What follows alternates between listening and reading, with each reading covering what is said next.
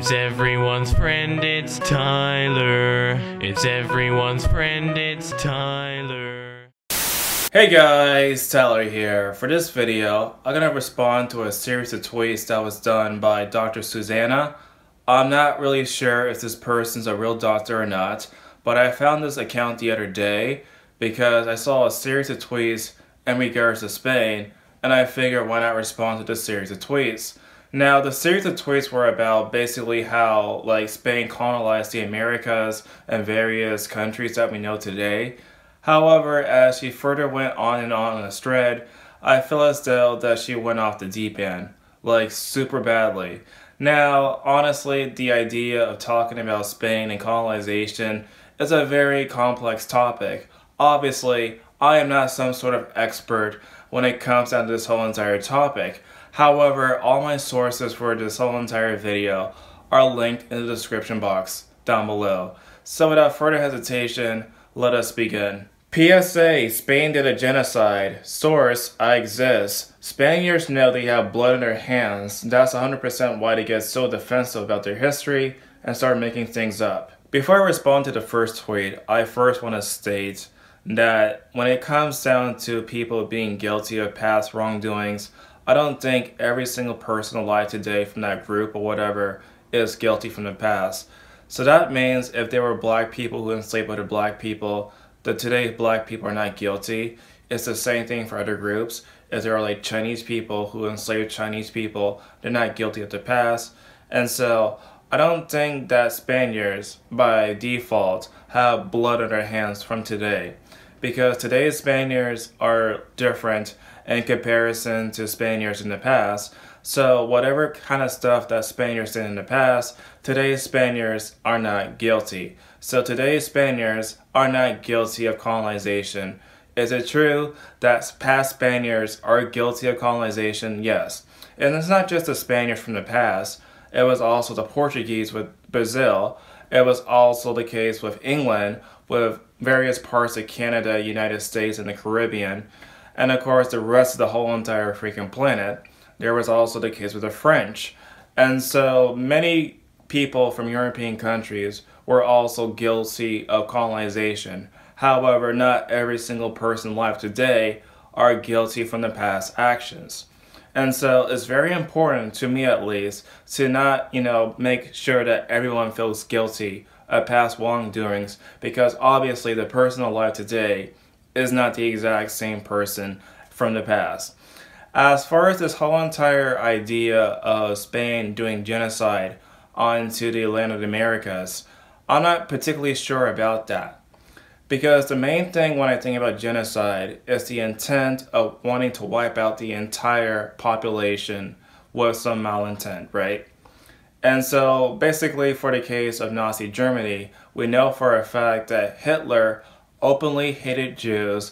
He had concentration camps against Jews. He made people suffer. His whole entire intent was to wipe out the entire Jewish race.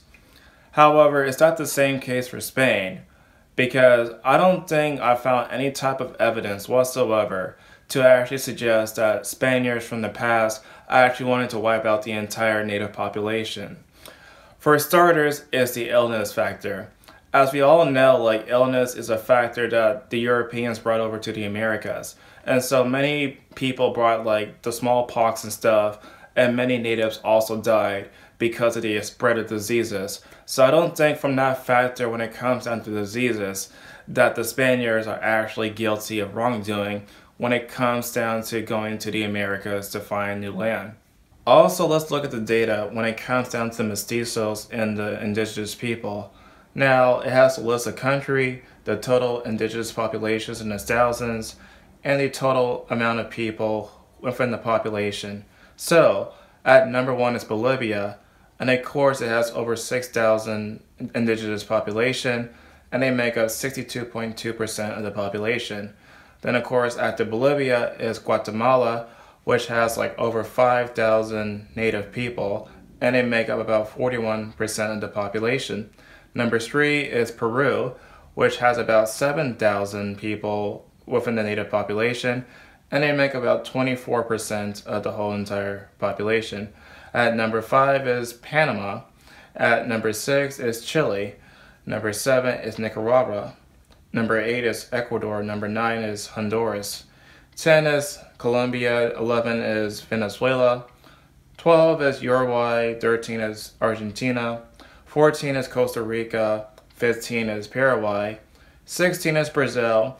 And the last one on the list is, of course, El Salvador. And what about the American Indians for United States? Well, according to the data, at least 0.9% of the US population, or 2.9 million people, identify as American Indian or Alaskan Native, while 1.7% of the population, or 5.2 million people, identify as American Indian or Alaskan Native alone, or in combination with one other race. So, if you compare Latin American countries with, of course, United States, it seems still that the United States actually has the least amount of Native Americans in our country in comparison to the other Latin American countries.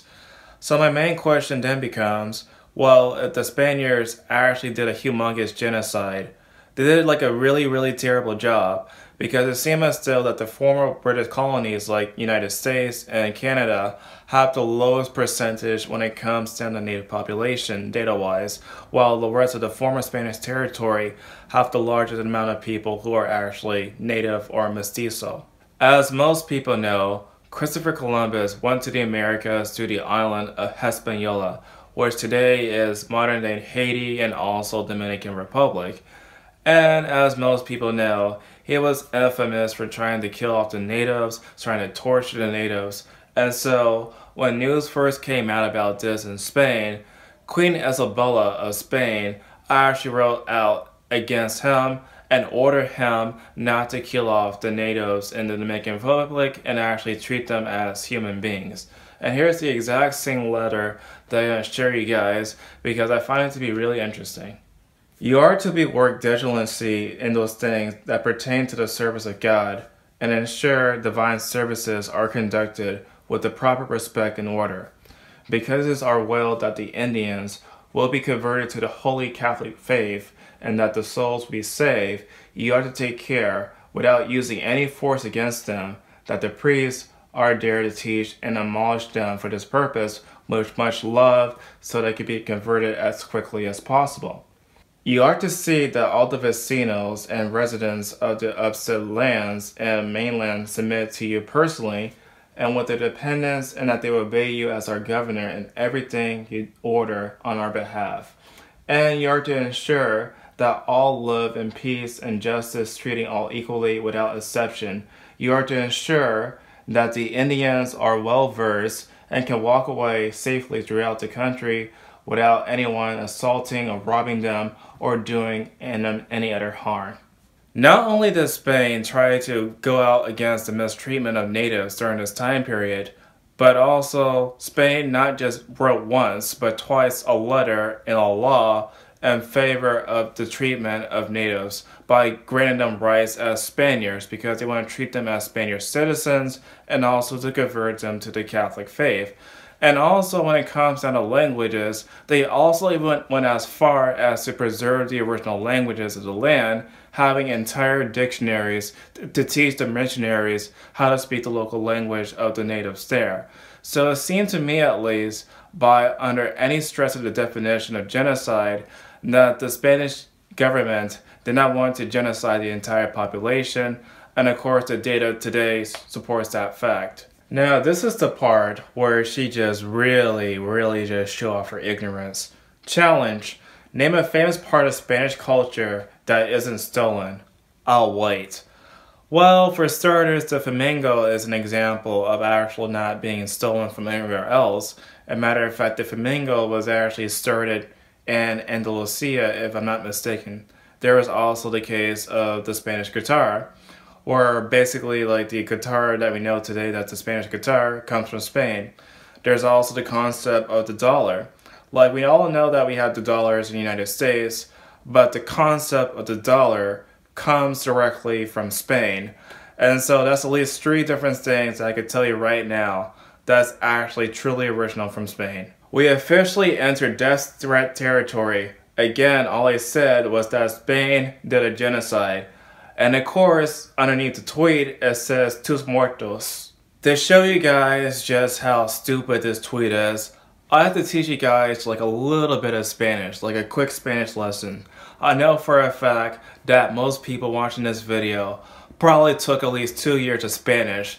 And yes, I'm talking about you all the way in the back. You also probably took two years of Spanish and you probably did not know anything else other than hello, goodbye, and how are you? That's the only phrases that most Americans actually know. So don't lie to yourself when you watch this video that you don't know how to say other stuff, right?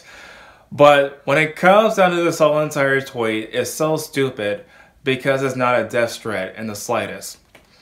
Now, Spaniards and also Spanish speaking people in general are very, very known for cutting off words to make it even shorter depending on the dialect, especially like in the Spanish Caribbean dialects. They like to cut off symbols and they also cut off words all the time.